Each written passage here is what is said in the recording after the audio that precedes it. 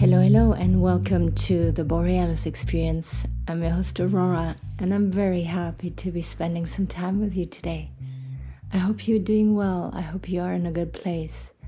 And if you're not, I hope that by the end of this episode, you're gonna feel a little bit better, feel empowered, hopeful for the future, and yeah, just good about yourself. The better you know yourself, the better you feel about yourself. The happier you are, the better decisions you will make in the future for yourself and for others. You will not make decisions for others, but your decisions will deeply affect others. If you like this podcast, make sure to subscribe. And if you want to give me a five star review, go onto po- Apple Podcast and leave, leave sorry, a little review there. I would appreciate so much. Today, I want to talk about life. Just a small side topic. Um, why does life seem so unfair at times? Why are we being faced with decisions that are impossible to make in order to make everybody involved happy? Why is it that so many people live in poverty, other people live in crazy richness? Why is it that you keep trying so hard, but it seems like you keep failing? What is it that makes life so unbearable at times? Well, my friend, the sad the sad thing is and maybe the good thing at the same time is that it is part of life. You know, the people who seem successful, always content, always happy, they go through intense stuff as well. And they may be only successful because they went through so much stressful pain that they just got tired of it and kept fighting and just are living their best self right now and enjoying their life. When you look at rich people, successful people, please never think that they had an easy path. They were able to overcome adversity and have a mindset that allows them to be successful. So, why is it though that we face situations where we feel that life is totally unfair?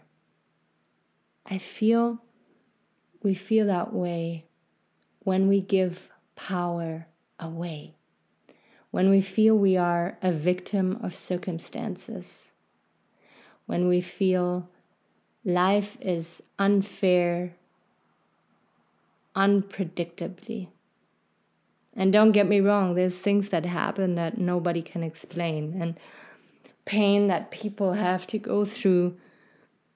And you just think, when is it gonna stop? Like, didn't that person get enough? Like, didn't that person have enough on their plate already?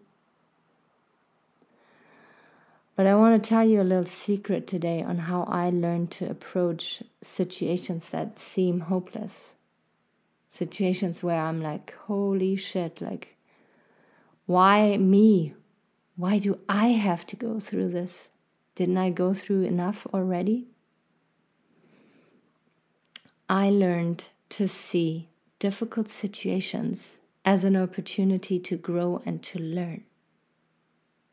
Because again, successful people don't have an easy life, don't have a never fail, never making mistakes life, an easy path. They fail many, many times. They get rejected many, many times, but they don't count the failures. They count their little successes. They look at their failure and see What can I learn from it? Can I learn from it? Yes, no. If no, move on. If yes, what am I supposed to learn from it? Now, if you are faced with a situation where you feel like, oh my God, like, what am I going to do? Why is it happening to me? Just go inwards and try to ask yourself what is the secret message here? What am I supposed to learn? I had a friend reaching out to me the other day and he said, Ah, oh, I've been so lonely during COVID. And now I met this girl and she's so sweet. We expressed our feelings the other day. But now I'm going to be leaving here for in the next 10 days for a year, I think he said, to live far, far away from her.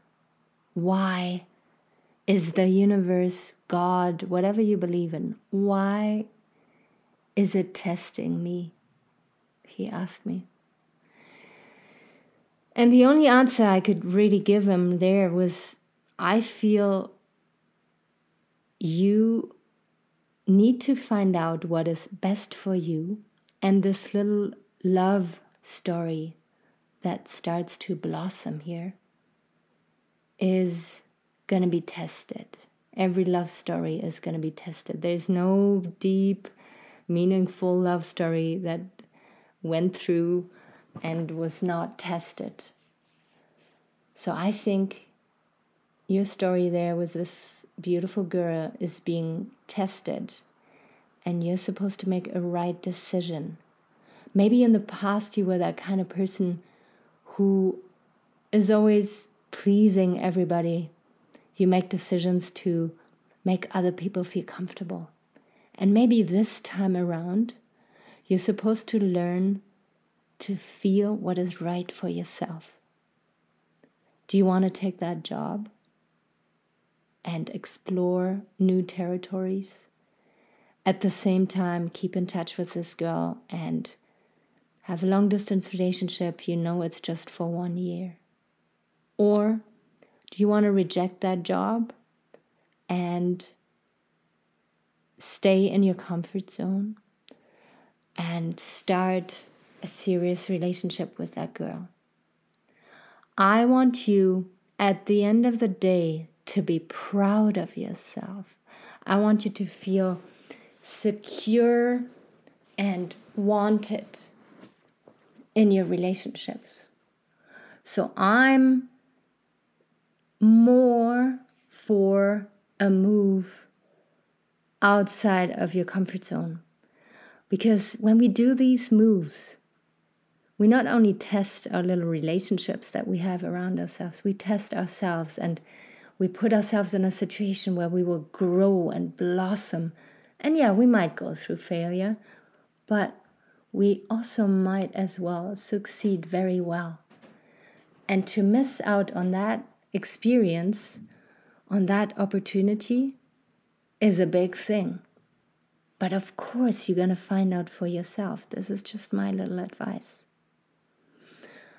Some people lose everything overnight gambling, a house fire, your wife has cheated on you and you know there's no way out, you will have to separate. You get fired, you lose your job. And you just sit there for a while and think, why me? Why is this all happening to me?